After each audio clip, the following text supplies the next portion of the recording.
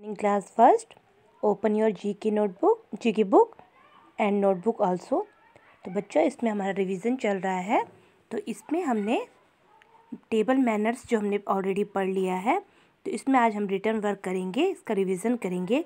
तो इसमें आपके लिए जो टेबल मैनर्स है इसमें आपके लिए सेंटेंस बनाए गए हैं और आपको सही सेंटेंस के आगे राइट का निशान और रॉन्ग सेंटेंस के आगे रॉन्ग का निशान लिखना है। आपको पढ़ना है। देखिए टिक द करेक्ट सेंटेंस ये देखिए and wrong for wrong sentences सबसे पहले है च्यू फ़ूड फास्ट हमें जल्दी जल्दी चबाना चाहिए भोजन तो ये रॉन्ग है, इसके आगे रॉन्ग लिखिए. Second wash hands before and after eating food yes ये राइट है, कि खाने से पहले और खाने के बाद हमें अपने हाथ धोने चाहिए. Third eat on the bed बिस्तर पर खाना चाहिए. It's wrong fourth drop food on the clothes, अपने कपड़ों पे भोजन गिराना चाहिए। गलत। Fifth, finish the food on your plates, अपने प्लेट का खाना हमेशा पूरा ख़त्म करना चाहिए। It's right. Six touch books while eating, it's wrong. अब जब आप खाना खाते हो तो आपको बुक्स को टच नहीं करना चाहिए। Seventh, see thank you for your food. Yes, it's right. And eighth, bang the plate to ask food.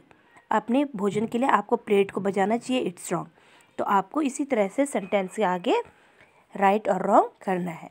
अब आगे आपका था take the tools take the tools था तो इसको भी हमने रिटर्न वर्क में मैच कर रखा है। देखिए, एक तरफ़ हो गए हेल्पर्स और दूसरी तरफ़ हो गए टूल्स तो हमारे हेल्पर कौन कौन से और उनको कौन कौन से टूल चाहिए होते हैं?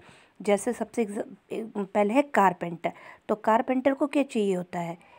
कारपेंटर को चाहिए होता है हैमर यानी कि हथौड़ा वुड कटर वुड कटर के पास होती है एक्स यानी कि कुलाड़ी ठीक है लकड़हारा प्लम्बा प्लम्बर के पास होता है रेंच ठीक है उसके बाद से डॉक्टर के पास होता है स्टेटस्कोप और हेयर ड्रेसर के पास होती है सीज़र और आ, फायर फाइटर के पास होता है फायर हाउस और टीचर के पास होती है बुक। तो इस प्रकार से आपको ये मैच करना है।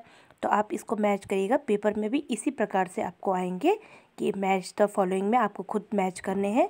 और ये इससे पहले भी जो टेबल मैनर्स है तो इसी प्रकार से आपके सेंटेंस आएँगे और आपको इनको मैच करना है। तो आप इनकी प्रैक्टिस करिए और इनको अपनी नोटबुक में करिए। ओके